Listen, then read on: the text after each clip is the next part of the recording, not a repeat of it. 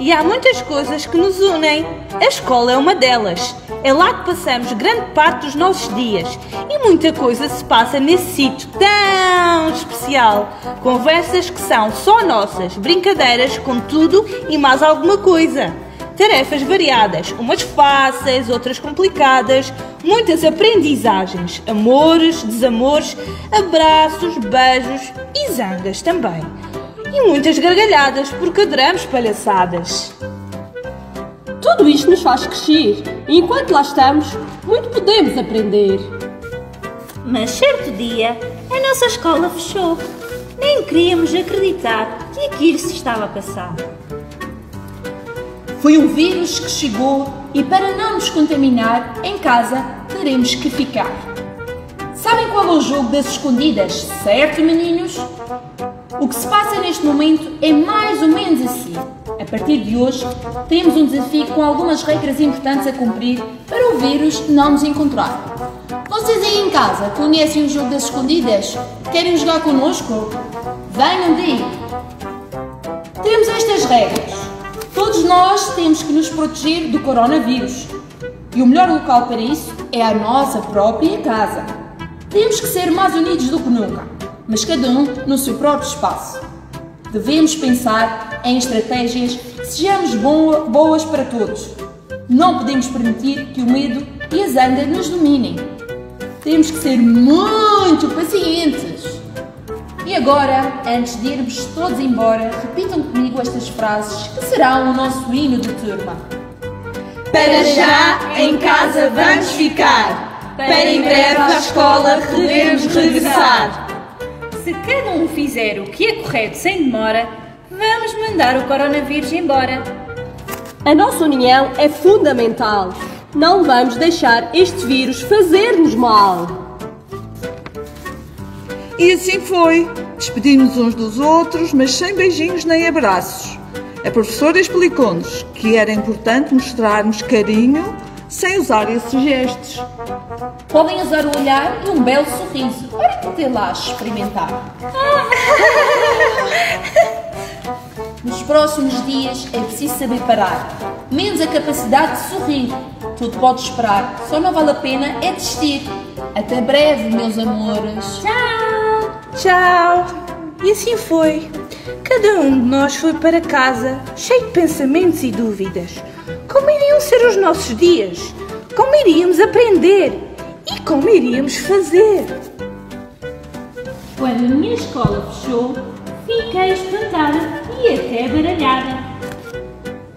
Quando a minha escola fechou, não fiquei contente, mas percebi que se estava a ser prudente.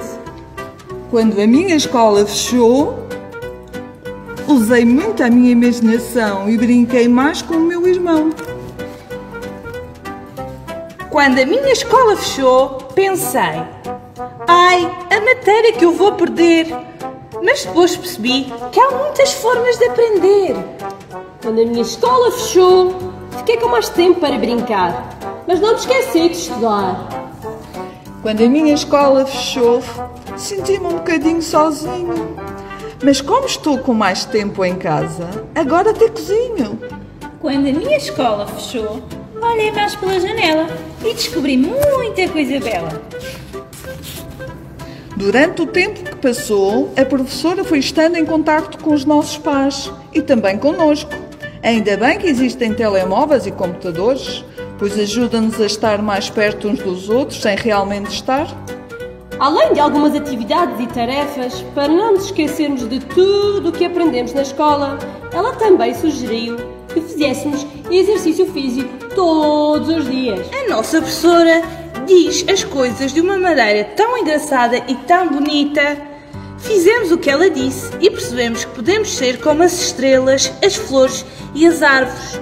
Nenhuma sai do seu sítio, mas nem por isso deixam de ser tão belas e de nos oferecerem o seu perfume e ar puro. Ao olhar pela janela, descobrimos muitos pormenores. Vimos as folhas das árvores a dançar e as flores a aparecer. Ouvimos menos carros e mais pássaros e até o cão lá longe a ladrar. Imaginamos desenhos nas nuvens que passeavam pelo céu. As nossas janelas foram telas, em que todos os dias a paisagem era como uma pintura diferente, às vezes com chuva, outras com sol. Elaboramos então um plano semanal, com horários parecidos com os que tínhamos na escola. Ao fim de semana tínhamos até deitarmos um pouco mais tarde.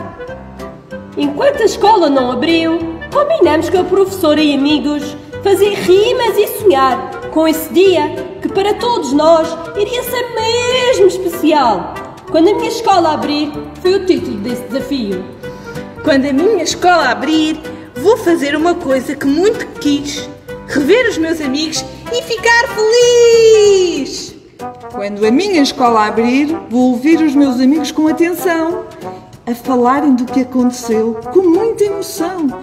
Quando a minha escola abrir, vou encontrar toda a gente e sentir-me tão contente. Quando a minha escola abrir, no recreio vou brincar e saltar até me cansar. Quando a minha escola abrir, vou ouvir a minha professora que, com a sua voz, acarinha todos nós. Quando a minha escola abrir, na sala vou aprender para muito saber. A verdade é que não foram dias fáceis para ninguém.